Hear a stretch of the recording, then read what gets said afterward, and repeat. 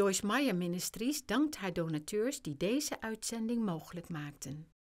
I would actually go so far as to say that I think that this business of being mad at people and angry and bitter and resentful is probably one of the most important lessons that Jesus came to teach us. And if we never get this one right, then none of the rest of it's ever going to go right either.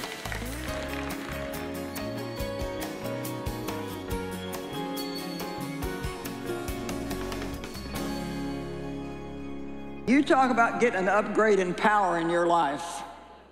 Man, you just start living free of anger and offense and see what God does for you.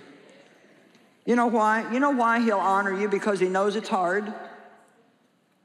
But if you wait on Him to be your vindicator, people will never get by with hurting you. God will always bring it back around and reward you, but only if we do it His way. Actually, there's a scripture in Hebrews 12 15 that says, Help one another secure grace so that you do not get bitter when you're hurt or mistreated. Burnt, but not bitter. So he's actually saying here that it's our job as brothers and sisters in Christ to kind of watch over one another in this area. And we need to be wise enough with our friends and the people that we're around, instead of when you're having coffee with somebody and they're telling you this long tale about what somebody did to them and how upset they are, don't just sit there and agree with them. Try to talk them out of it. Try to help them understand that it's a waste of time, a waste of God's time, a waste of their time, and it is not in any way, shape, or form going to solve their problem. Otherwise, you know what happens? What they tell you gets inside of you. Now, all of a sudden, you don't like this person that didn't even do anything to you. First of all, you're not even supposed to believe anything you hear except in the mouth of two or three reliable witnesses.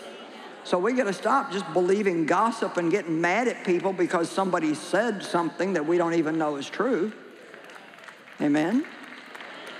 Come on, if we're going to study the Bible, let's live it. Otherwise, we're just playing games. We're just being counterfeits. What good does it do to underline in your Bible if we're not going to do? Now, you know, we all fail and we all make mistakes and we keep getting forgiveness and we go on, but we got to be serious about this. We are living in very serious times, and I would imagine that you are fairly serious or you wouldn't have taken a Friday night to come here and fight the traffic you fought to get in here. Some of you traveled a long way, you paid for hotels, you're going to be back here all day again tomorrow. And, you know, it takes a lot to put on one of these things. I mean, we probably brought 50 people with us, seven semi trucks fully loaded. I mean, it takes a day to set this whole place up. This is serious business. God goes to extremes to get His word to His people. This is not just an event.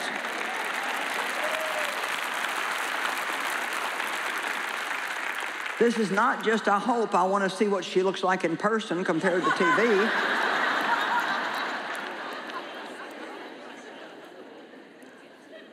You can get all the pictures of me you want. You don't need to come out here just to do that. But please listen to me this weekend. I believe this is a word from God for your life, and this can turn some people's lives around if you'll get a hold of this. Some of you, this is an actual divine appointment. I mean, God sent you here because you desperately need this word. And let me tell you something. If you make a choice to forgive somebody and you don't feel any different, don't let the devil deceive you into thinking that you did not forgive. How you feel has nothing to do with it. If you pray for them, you don't gossip about them, you speak well of them, and if there's a need that comes up that you can meet, you meet that need. That is the full force of forgiveness because people can have gooey feelings about somebody and do none of that. Hebrews 12, 15. See to it that no one falls short of God's grace, that no root of resentment springs up and causes trouble, and many be defiled by it. Don't just try to forgive people. Pray that God will enable you to forgive. And you don't even have to wait until you're mad at somebody to pray that prayer. Why not pray that every day? God, the minute that anybody offends me, grant me the grace to forgive quickly. Help me realize what a mess I am and how often you forgive me. Please, God, help me. The longer the feelings continue, the more deeply rooted they become, and bitter roots always produce bitter fruits. 2 Corinthians 1:10 forgive to keep Satan from getting an advantage over you. How much plainer can it be? Don't open doors for the devil by staying mad. Studying the nature of the devil is just good for all of us every once in a while because you talk about sneaky. I mean, ugh. The stuff that he does, and we just let him get by with it. We're just not paying any attention to what's going on. Pray that God will show you yourself and that He'll show you truth and then hang on to your seat. now, I love this scripture, Colossians 3:19, because it says, "Husbands, love your wives with an affectionate, sympathetic, selfless love that always seeks the best for her. How many of you ladies like that? I like that. And husbands, do not be bitter or resentful toward your wife because of the responsibilities of marriage. so I was thinking that over, and I thought, now what in the world does that scripture mean? Well, first of all, I mean, the same thing goes for wives. It, this just happens to talk about husbands. And I'd rather talk about husbands than wives, and since I've got the platform, that's what we'll do. okay, maybe um, she has not met all of his expectations. Do you know, I don't think it's what people do that make us so upset as what we expected them to do. And a lot of times we have unrealistic expectations of people well, I, I expect you to keep me happy all the time. I used to get so mad at Dave because he wasn't keeping me happy. He'd, he'd go play golf. Now I wasn't happy. And Dave needed to make me happy. And God said, Why don't you take responsibility for your own joy? It's not Dave's job.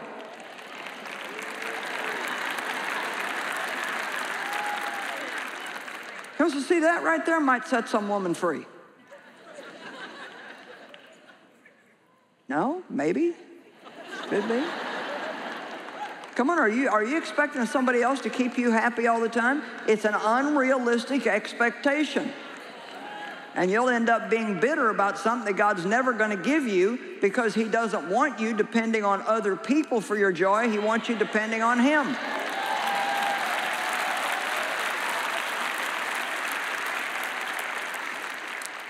He feels trapped. He's been married 30 years and now he has all these responsibilities and he isn't happy. You know what? Maybe if he lived to make her happy, he'd be happier. Or if she lived to make him happy, she'd be happier. Oh, you like the he part better. Bitterness often begins with several small offenses, little things that we never bring closure to little things about that other person that just bug you.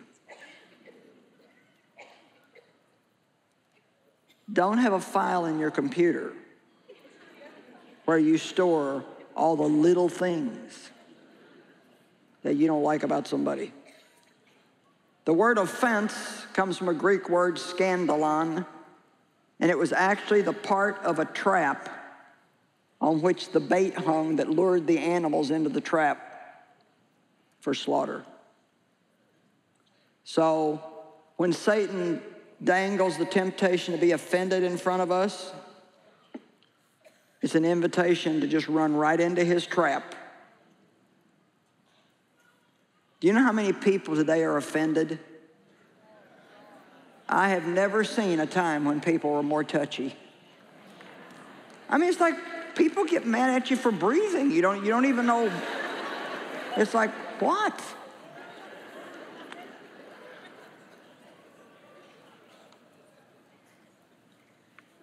Paul said that he really worked with God to make sure that his heart was void of offense toward God and man. I honestly think this is something that we could deal with every day in our prayers. God, am I mad at anybody? If I am, show me who it is. Have I not completely forgiven somebody? Am I, do I have any offense in my heart? How much better do you think your day would be if maybe you'd take care of all that early in the morning and just get it over with? Come on. Matthew chapter 24 is a chapter in the Bible about the sign of end times. And you got all these wars and rumors of wars and famines and earthquakes and diverse places and all these different things. But there's a couple of scriptures, verse 10 and verse 12, that I don't think we pay enough attention to. And they're also signs of the end time. And verse 10 says, In the last days, many will be offended, and they will stumble and fall. Jesus called himself a rock of offense over which men stumbled.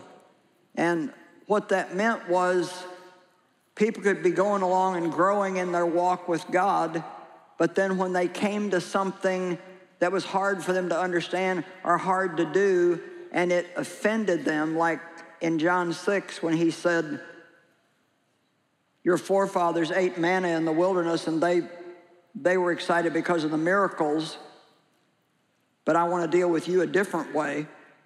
I want you to take me at my word eat my body and drink my blood. And they were like, I'm out of here. and it actually says that many of them went back to their old associations. They didn't stick around long enough to let him teach them what they were really saying. So they stumbled. When we get offended, we can't grow anymore. Do you understand that? As long as you're angry, you're not growing spiritually. As long as you're offended, you can go to church six times a week. You're not growing spiritually. You can hear all kinds of good stuff, but you can't keep it on the inside of you because this is a very important issue. I would actually go so far as to say that I think that this business of being mad at people and angry and bitter and resentful is probably one of the most important lessons that Jesus came to teach us. And if we never get this one right, then none of the rest of it's ever going to go right either. Amen.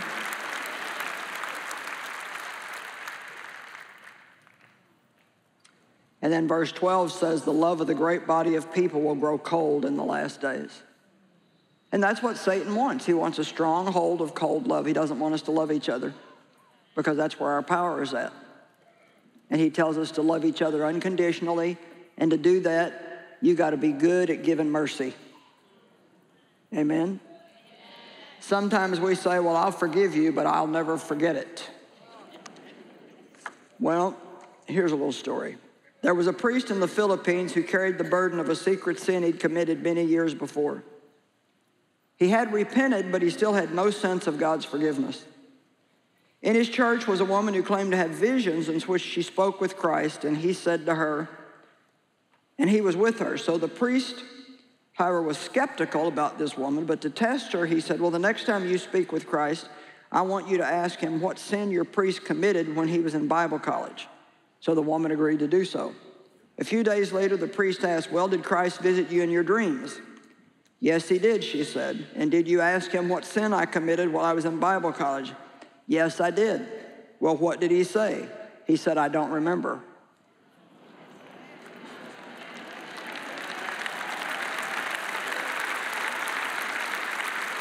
Come on. I don't remember. See, and that's actually possible if you let go of things real quick. I'm asking you to get a master's degree in forgiveness. I mean, just be the best of anybody at forgiving. Don't waste any more of your time. I mean, if you really stop and think about it, if you go home and think about this for 10 minutes tonight, you'll realize that staying mad at somebody does no good.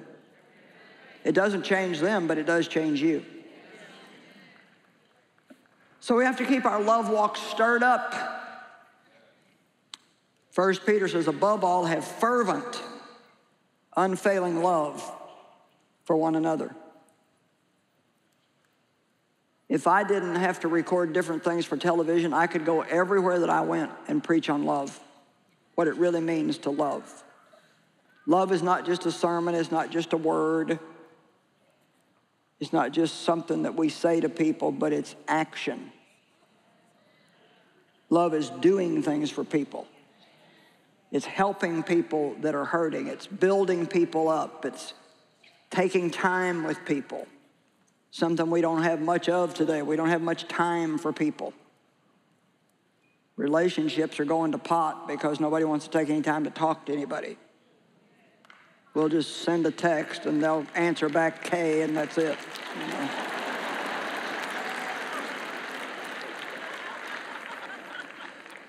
Not that you probably would get a text from me, but if I sent you a text, do not send me back a message that says K. I mean, if we're too lazy, lazy to even say okay,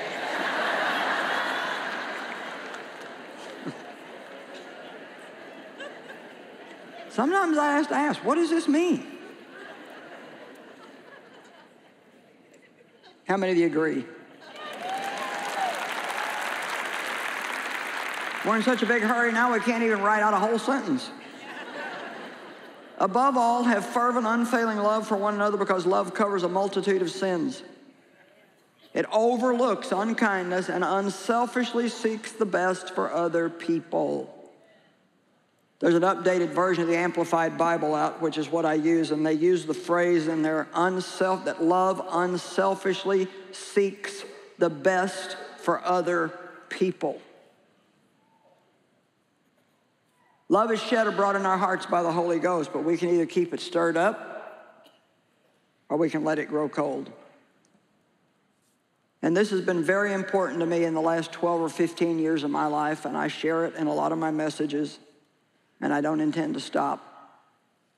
If you want to keep your love stirred up, there's certain things you have to do. Number one, ask God every day what you can do for somebody else. Don't wait for three prophecies and two trumpet blasts and an angelic appearance. Now, God, if you really, if you really want me to help them, God, I mean, like, really want me to. Listen to what people say they want and need and provide it. Stop asking God to do things for people that you could do and just don't want to. God, Mabel's behind on her rent. She needs help.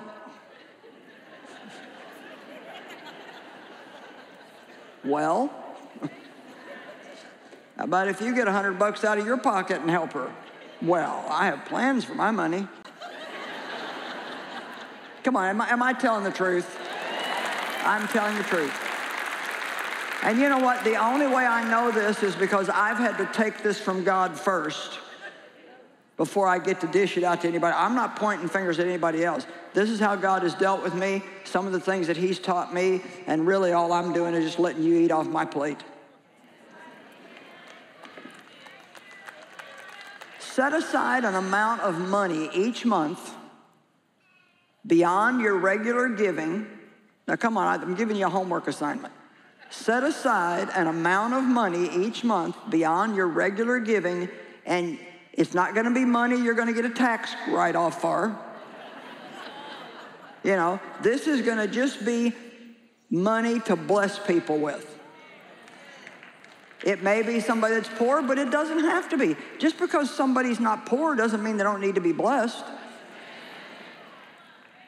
I mean, the richest person you know may need a blessing worse than anybody else that you know. Because when people have a lot, people are usually always wanting something from them, and nobody thinks about giving to them. Come on, am I right?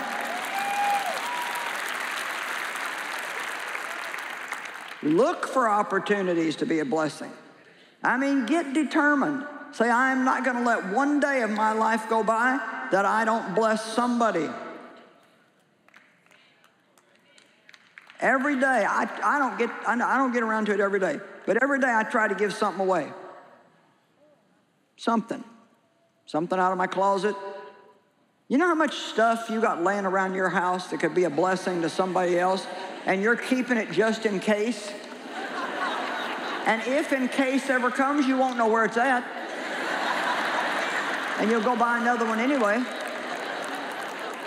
Come on, I'm telling you the truth. You doing okay out there?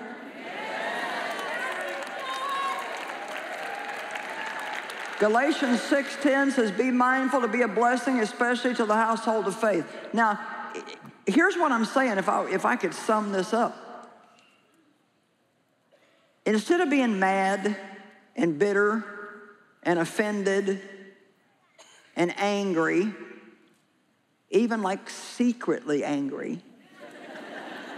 I love you with the love of the Lord, but every time I see you, it's like. Come on, you get. Can, let, let me see you guys do that. Oh, I'm better at it than you are.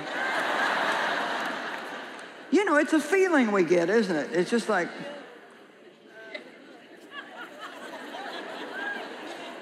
Oh, did you have to come?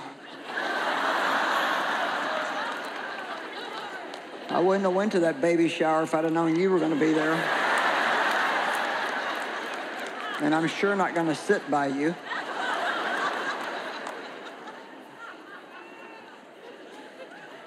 Can I tell you something? God is not nearly as interested in your little Sunday morning visit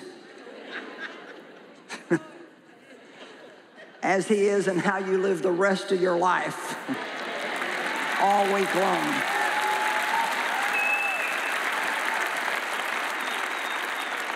I mean, I'm sure God's proud of you that you came here tonight. You took a Friday night to come. But to be honest, you have wasted your time if you don't go out of here and put some of these principles into practice.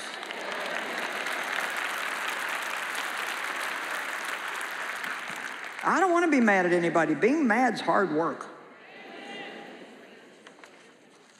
The Bible says in Proverbs 19:11, "Good sense and discretion make a man slow to anger, and it is his honor and glory to overlook an offense without seeking revenge and harboring resentment." Okay, here's the kicker. You know what the word glory means? It's his glory to overlook an offense. It means the manifested excellence of God. So if I can translate this properly, it's an honor and will produce the manifested excellence of God in your life if you overlook a, transgression or an offense and don't seek revenge and harbor resentment. Come on, are you waiting for God to do some big things for you? How many of you are waiting for God to do some big things for you? I mean, you really want big time favor. Well, I do, but you know what? I know that I'll never have it if I don't stay free from that stuff. You can't let it get you. It's the devil. Don't let it get you. Well, you're laying around in bed at night about to drift off, and here comes the thoughts.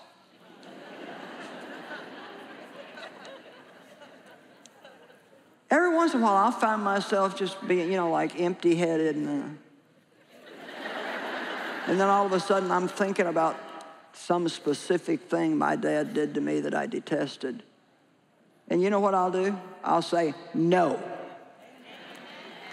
Come on, open your mouth and talk back to the devil. Just say, no. I'm not going there. There is a place called there, and you used to live there, but you're not going there anymore. Amen? Fight for your life.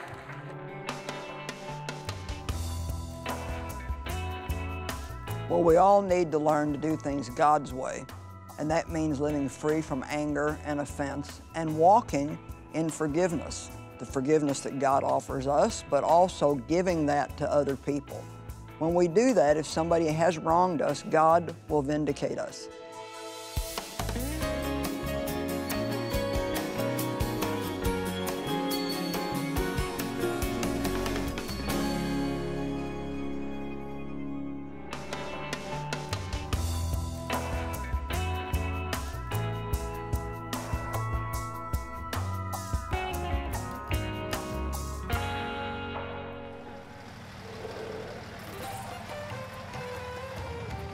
Today, we are having a medical camp on behalf of Joyce Meyer Ministries. It's a big event for the village people so that they can receive medication and the love of Christ.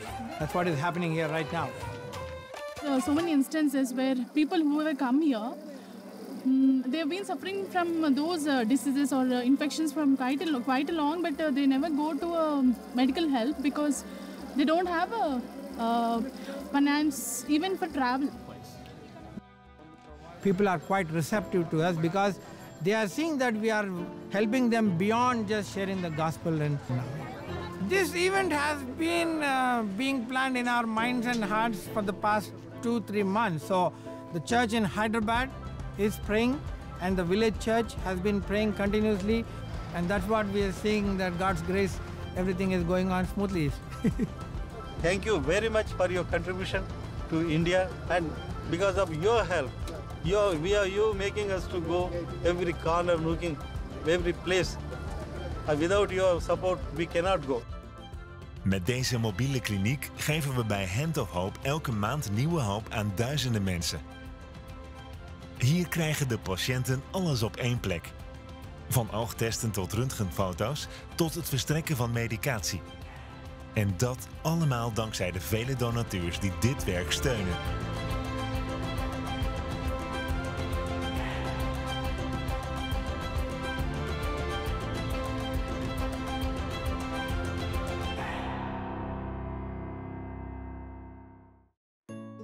Know, the Word of God teaches us that if we are willing to share what we have, God can multiply that and make it into a lot more than what we started with. So please share. Help ons om andere mensen te kunnen helpen. Bel ons 026 20 22 100 of ga naar joyce-meijer.nl slash partner. Elk gebed en elke donatie telt. Samen veranderen we de wereld. Werk, huishouden, vrije tijd en nog veel meer. Het moederschap is een fulltime uitdaging. Groeit alles je soms boven het hoofd? Krijg weer rust, zelfvertrouwen en vreugde die dieper gaat. Laat je inspireren door Joyce Meyer, zelf moeder van vier kinderen. Je hebt het verdiend. Het boek van Joyce Meyer, De Zelfverzekerde Moeder. Bestel je eigen exemplaar nu via joyce-meyer.nl of telefonisch via 026 2022 100. Vragen? Bel ons op. Wij zijn er voor je. Telefoonnummer 026 20 22 100.